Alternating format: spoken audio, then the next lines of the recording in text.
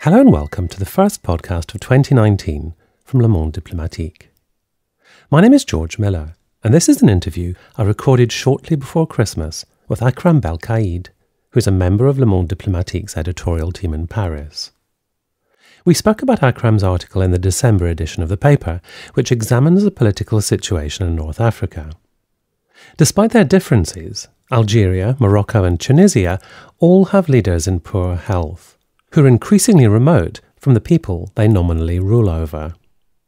Algeria's octogenarian President Bouteflika had a stroke several years ago and has rarely been seen in public since.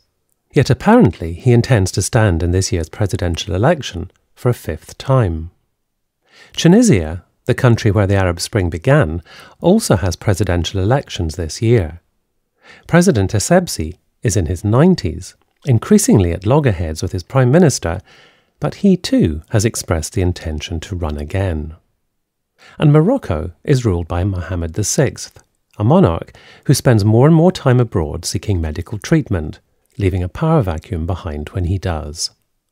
So when we spoke, I began by suggesting to Akram that given the fragile health of those at the top, it's hard to work out who's really calling the shots in each of these countries. Yes, um, usually it was only the case for Algeria because Algeria, since the independence, was not uh, really having a kind of transparency. But for Tunisia and Morocco, the things were obvious. I mean, the king the late King Hassan II uh, was clearly, uh, if I may say, the boss. And in Tunisia, Bourguiba, the former president, and then after him, Ben Ali was also the boss. I mean, it was clear that they had the power. In Algeria, the questions were always who is really deciding, uh, what are the relations inside uh, the army, and so on. But you're right, today, what happens is that for the three countries, there are some questions and we don't have uh, answers because the situations are quite different, of course, but the powers are not clear. I mean, in Algeria, the situation is uh, really complicated. The president is absent, is, is ill, and we don't know who is deciding and how things are decided. In Morocco, the king travels a lot, and obviously he is not interested by uh, managing his his country, although the fact that he has uh, the duty to do it because Morocco is not a parliamentary monarchy. It's uh, he he has a kind of absolute power, and in Tunisia, because of the transition, because of the fact that the uh, nature of the regime is not clear because it's uh, at a middle point between a parliamentary uh, regime and a presidential regime. So you have the president and you have the prime minister, and also you have a third power, which is the Nahda party, the, the fundamentalists, the Islamists, which are having a lot of influence uh, and are playing uh, behind uh, the scene political game. So uh, you're right. It's really difficult knowing that also uh, the press, the local press, is uh, experiencing problems to, to, to, to have the informations, and that and also that foreign publications are not always able to report properly because of uh, some difficulties on, on the on the field. So, if we zoom in on Algeria to start with, Akram, there we've got a president who's been in, in power since 1999, but he had a stroke several years ago and hasn't been seen to speak in public for several years. And yet, there was an announcement that he was intending to stand in next year's presidential election. So, who stands to benefit? Who who is pulling the strings? Do you think in Algeria if they've got an in, an incapacitated man who, to all intents and purposes, really cannot exercise power? Who is the power behind the power? It's a very difficult question to answer. I mean, we just have hypotheses.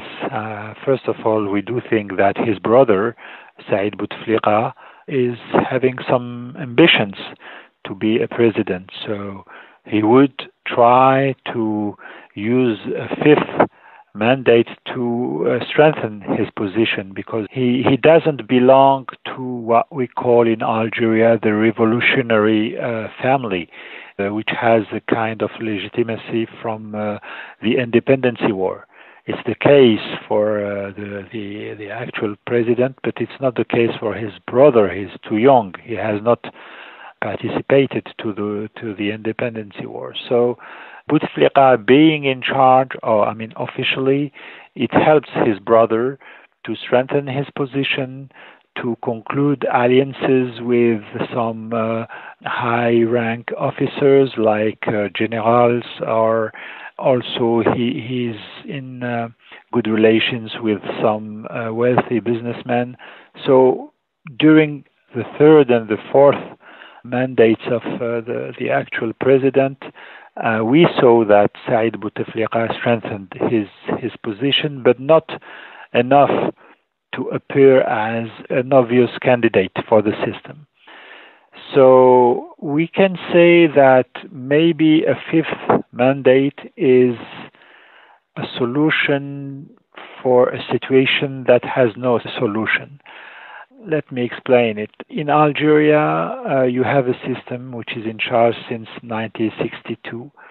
And at each crisis, uh, each political crisis, this system found the way to uh, pursue and to maintain the order by finding the man who could be supported by all the factions, by all the parts of the system.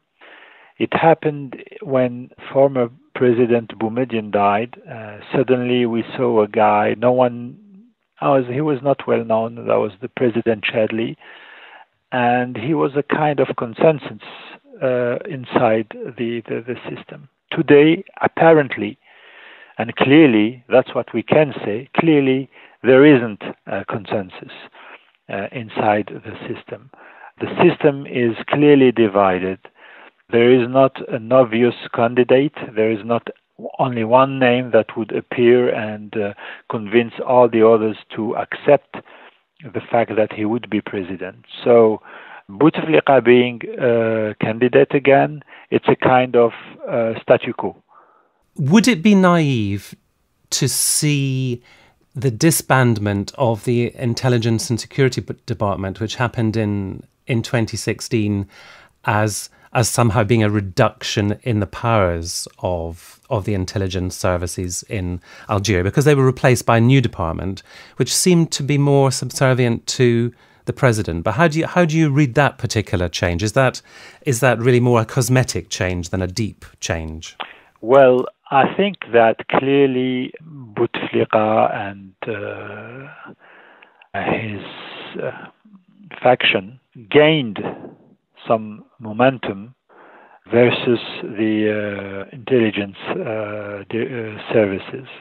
That is clear. I mean, uh, if you compare with the past, it, it was clearly his intention. I mean, when he was elected in 1999, he clearly said that he was not going to accept some interferences or uh, the uh, services telling him what he has to do and what he is not allowed to do. So it was a kind of really uh, a long-term strategy, and we can say that he he has been able to reduce the influence of uh, these uh, department, this department. But I'm not sure that this department has been defeated and that uh, its uh, influence has been uh, reduced to zero. I think that they are still in, uh, having some influence. I think that they are more powerful than we think, and it's just a question of a reorganization and uh, their uh, gaining from the situation because these services have been accused many times for human rights violations.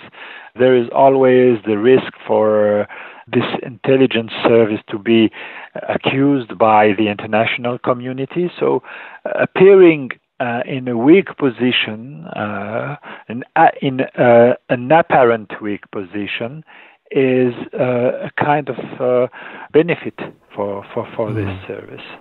Right.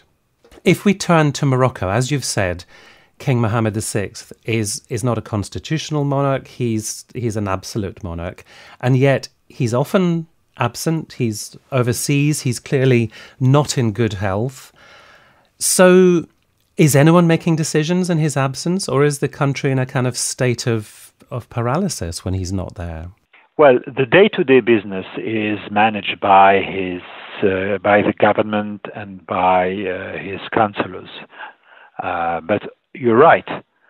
Strategical decisions are not made. And Morocco is facing a huge number of challenges, among them the relations with Algeria, the tension at the border, the Sahara uh, problem, and also uh, social issues uh, because uh, as the other Arab countries, Morocco uh, is facing unemployment and unrest, and uh, I mean it has to be managed, and clearly it's not.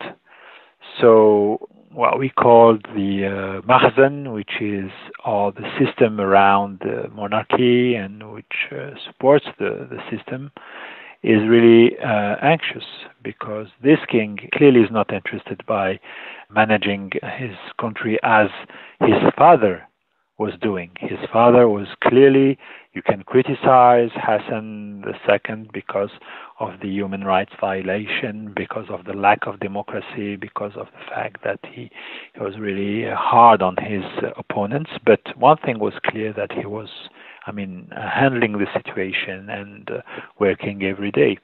Clearly, it's not the case for his son. And this is why many people are there in Morocco are asking themselves, they do not know if he is really interested by remaining in place, by giving, uh, deciding to, to, to allow his son when it's going to be the time to be uh, the future king. there are some questions. And uh, of course, this is not good for stability. His son is 15, so clearly he's not yet of an age to assume the throne. And meanwhile, Mohammed VI, when he is in the country, is concerned about his intelligence services and his army to make sure that they, they don't, you know, flip sides. Of course, because history shows us that when you have this kind of situation, and especially in Morocco, it has happened in the past. I mean, in the 70s, his father was a target of uh, at least two uh, attempts of uh, military coup. So he knows that he has to, whatever he, he is his feeling about uh, the uh, the job of uh, a king, he knows that he has to keep an eye really open on his intelligence services, the police, and also the army, because the army used to be in the past uh, kind of problems for the monarchy. So this is why uh, he is regularly trying to change positions to assure that nothing dangerous would come from uh, these institutions. And does he does he broadly speaking have popular support? Do most Moroccans in the streets still feel that you know that he is the he is the person they want to be leading their country? It's a very difficult question to to answer because you have the official uh, um, speech and also the common uh, people. They, they, they, they well, they they are regularly. If you ask in in the street people about what do they think about the king, it's very dangerous, uh, difficult for them to answer with uh, a kind of sincerity because you can be jailed if you criticize too strongly the the, the king. And uh, uh but to to to talk frankly, I don't see a, a lot of, I mean, uh, anxious feelings.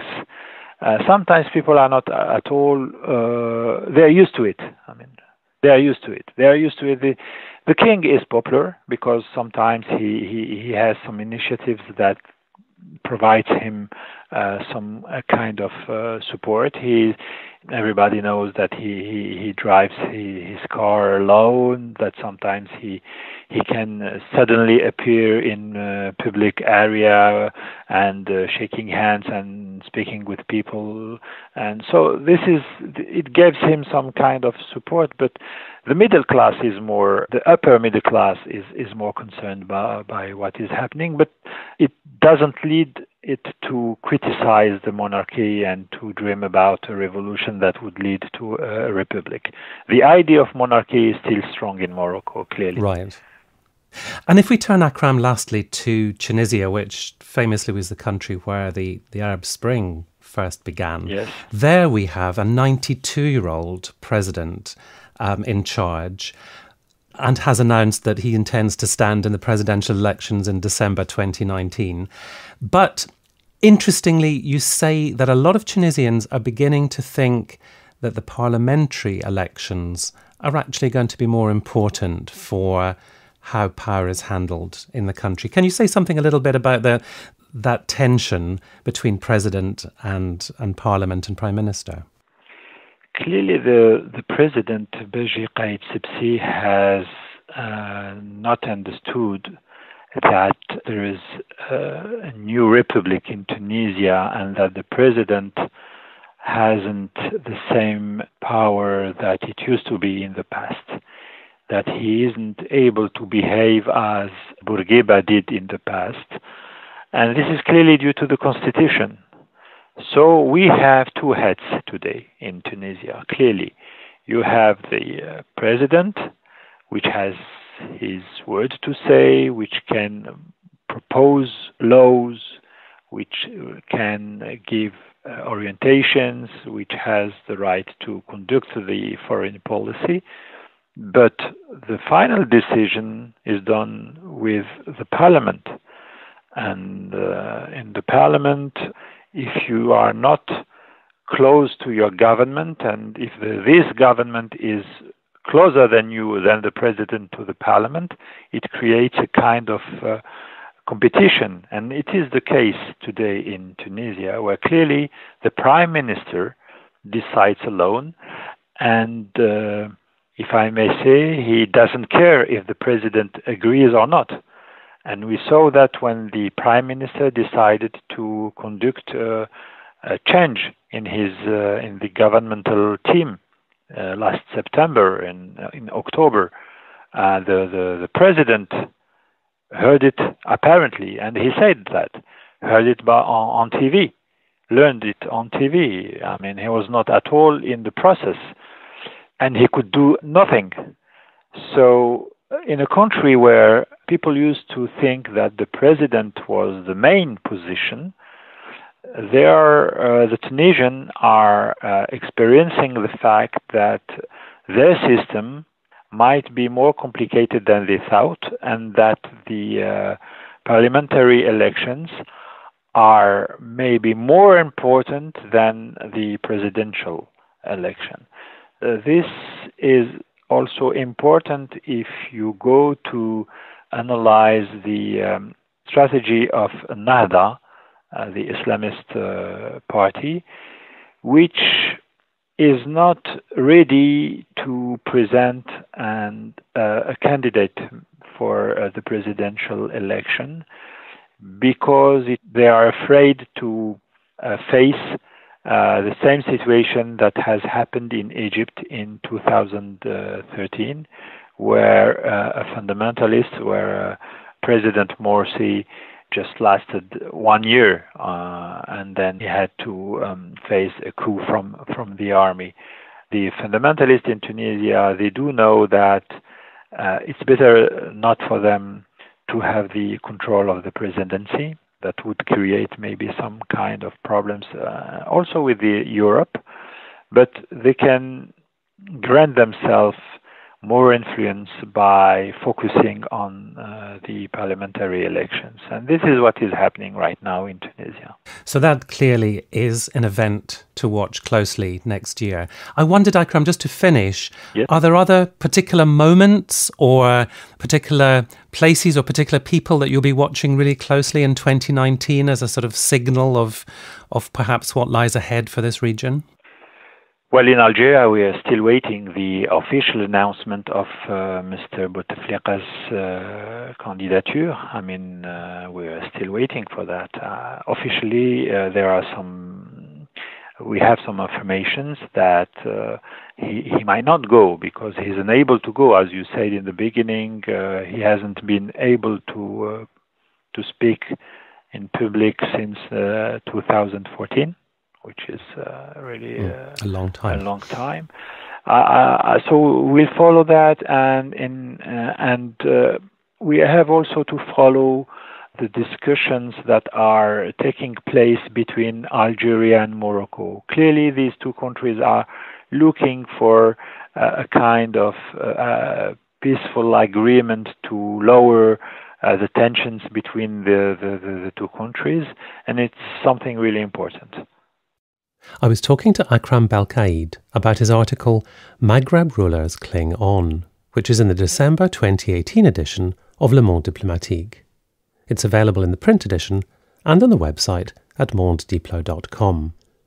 If you're a subscriber, you can read the current issue online and access a complete archive of the paper going back over 20 years, as well as exploring other resources such as maps, images, the podcast archive, and online exclusive content.